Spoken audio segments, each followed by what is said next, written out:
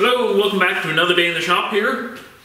We're gonna continue our buttoning up of the loose ends by finishing off this roll cage once and for all and throwing a little bit of color on it and calling that part done. So, thanks for stopping by and let's get rolling on this.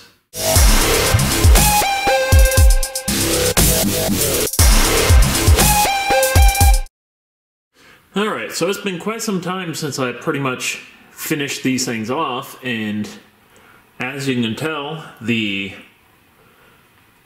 winter has not been kind to the steel bars here.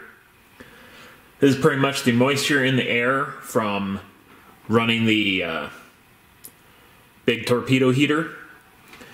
Since the propane uh, puts uh, moisture in the air from the combustion thing, we got all this little surface rust going on. So I got some Scotch Brite pads and I'm gonna have to clean this clean this piece up a little bit here before we can completely call it a day. So I'm gonna get scrubbing away and get her all cleaned up. Alright, so I'm probably just to paint this in sections. Got this door section cleaned up, so I'll paint that. And then I'll just move around section by section. These bars are looking pretty good. Still have to do some finish welding down here in this bottom edge and up on these top pieces. So I'll stay away from them and leave them to last.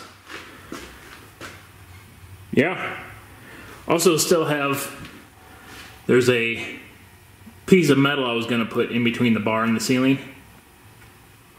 So we'll do that too. All right. So that's starting to look good. Kind of got the first coat on over here. Got to work. Still on a bunch of that stuff, but we are definitely getting there. All right, well, don't mind the uh, heater in the corner making a little bit of noise here, but this is a point that I was procrastinating on for so long. And it kind of making me cringe just thinking about it, but I guess it's time to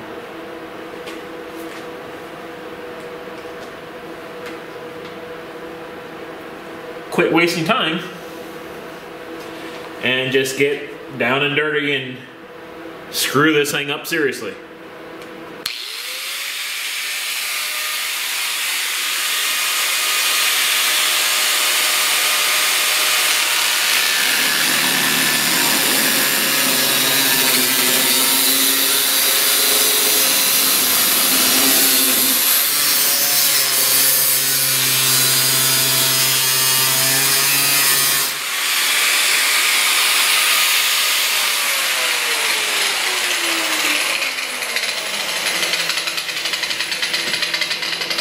There we go.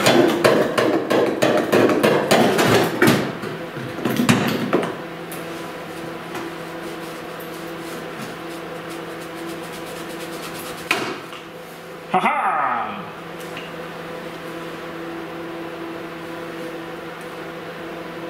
Now I'm gonna have to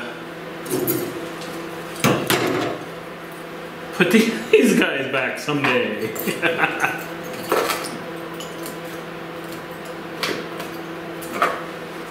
Ah, I think it'll work. Haven't been the worst thing that I've screwed up so far. But,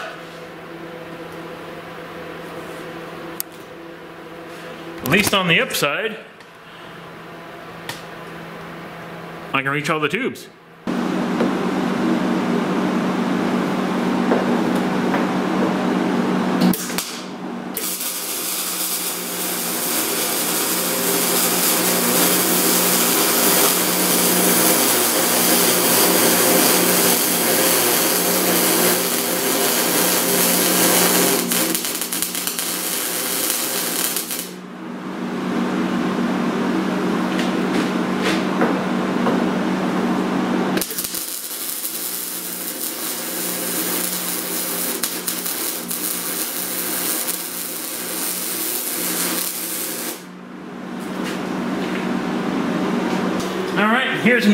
Area. We've got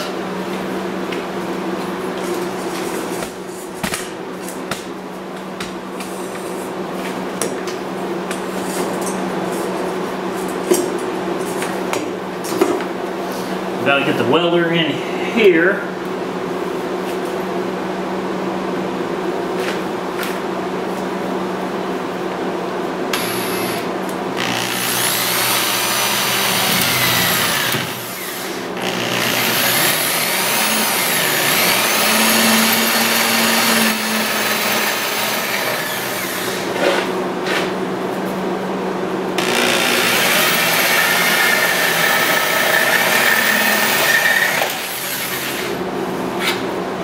All right.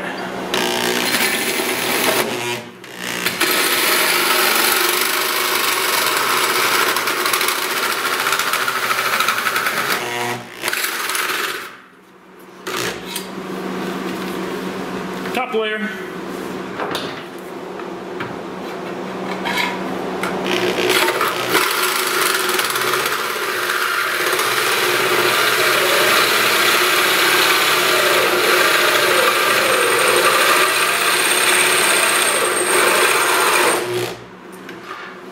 Bottom layer. Now it should be enough.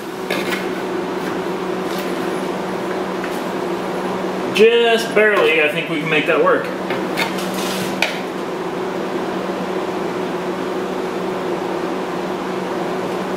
All right. All right, so the last section is we're gonna add a little bit of gusseting to the kind of roof bar here. It's essentially just going to go right up here on the cage. And that's essentially because I don't want to cut a hole in this section of roof like I did in the back. It's like the back there was, what was there? One, two, three. There were like three tubes intersection intersecting in that area. So that was worth it to cut a hole. Right here, there's just the one there, and on this side, that cross brace. But if you put one of these gusset braces in there, you can get by the uh, rule books without having it welded all the way around. So that's what we're going to do here.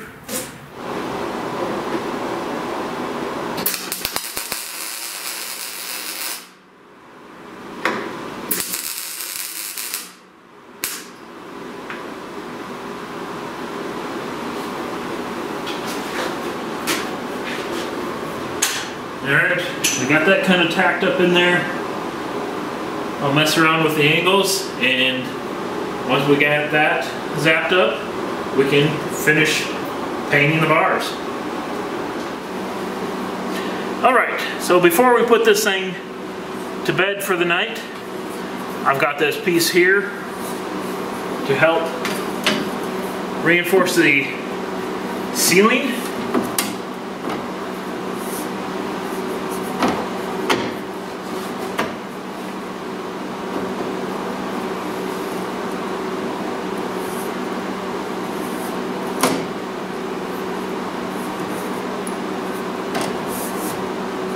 goes on a little something like that.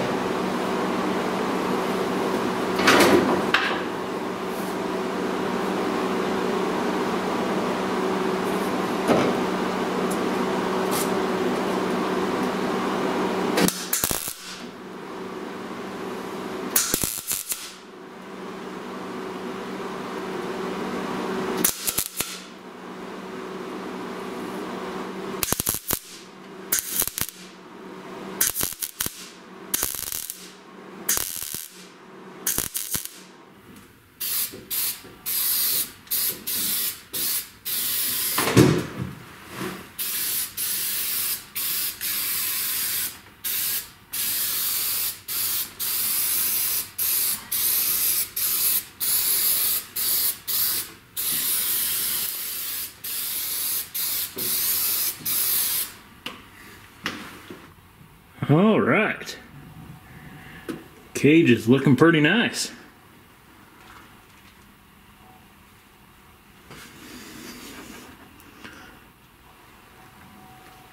Good enough for today.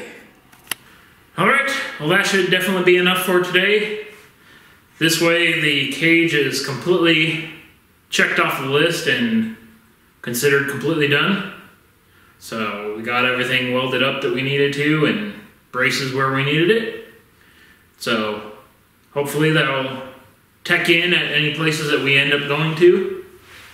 Uh, chances are 98% of where I go won't require a cage anyways, so we'll just be that much further ahead. But anyways, thanks again for watching and joining me on this disaster trip. And I guess, yeah, until next time, I guess I will see you guys later.